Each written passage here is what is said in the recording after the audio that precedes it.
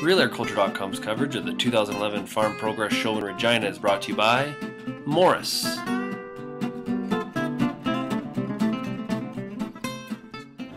Kid, on one of your new products at the show is uh, right behind us. What is it? You betcha. This is Mor Morris's answer to sectional control.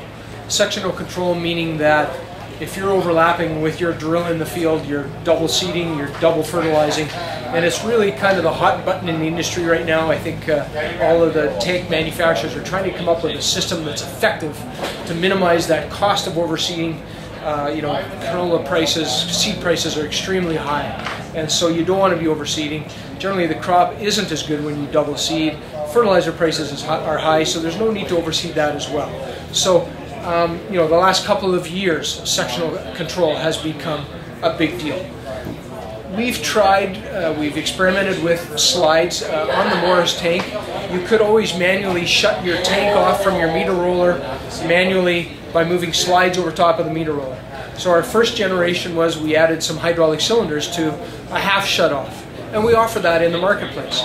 There's limitations to a slide type system though. As you can imagine when you put that slide over the meter roller, depending on what product you're seeding at the time, such as canola, where that meter roller is moving at such a slow RPM because you're putting such a slow rate on, it takes a substantial amount of time for that meter roller to clear out. So you really have to time your monitor such that it's shutting off at the appropriate time so you're not still overseeding.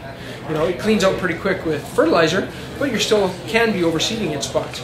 Conversely, if you want to open up your slides now because you're not overlapping, you have to time the monitor such that it opens that slide in time to fill that meter roller and get it on at the right time. And we just weren't comfortable with that. We, we ran, we had two prototypes running in the field this year. We had two great cooperators that worked with us on a slide system. We had a nine run system, so we had nine slides on it. So technologically, there was a lot of stuff there. There was a lot of hydraulic lines, a lot of hydraulic rams to get those nine slide systems.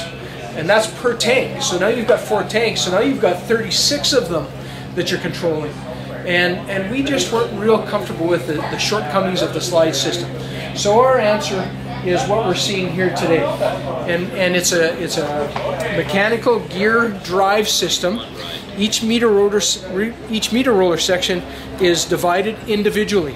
So we can put a total of a nine run system on this. So depending on the size of your seeding tool, we will match up the number of runs to the size of your seeding tool.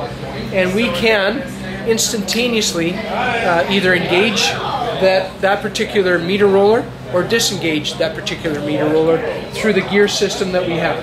And I'll start it up for you here, Sean. So we just have a system. So the master clutch was on when I flipped that switch. I can shut them all off on, at one time.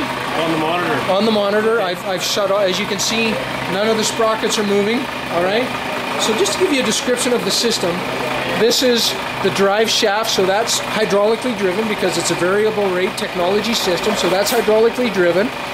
In the back, is actually the drive for your meter roller section. Okay. Okay. And the sprocket in the middle is the one that either disengages or engages to drive your meter roller section. And that will be controlled by this hy little hydraulic cylinder on each meter roller section. And it will push this cam, which disengages that sprocket or engages that sprocket.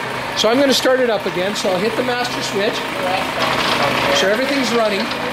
And if Sean, if you get a shot, probably that middle one is the best one to look at. I'm going to shut that off from my from my uh, monitor here.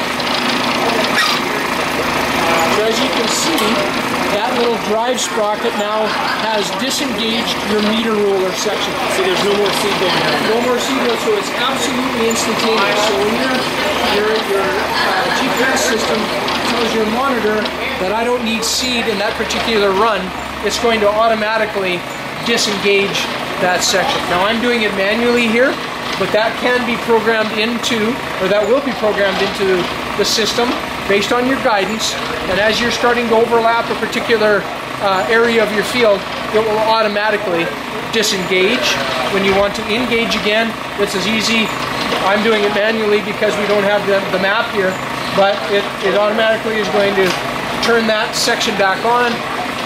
The, uh, the gears mesh and now it's metering instantaneously.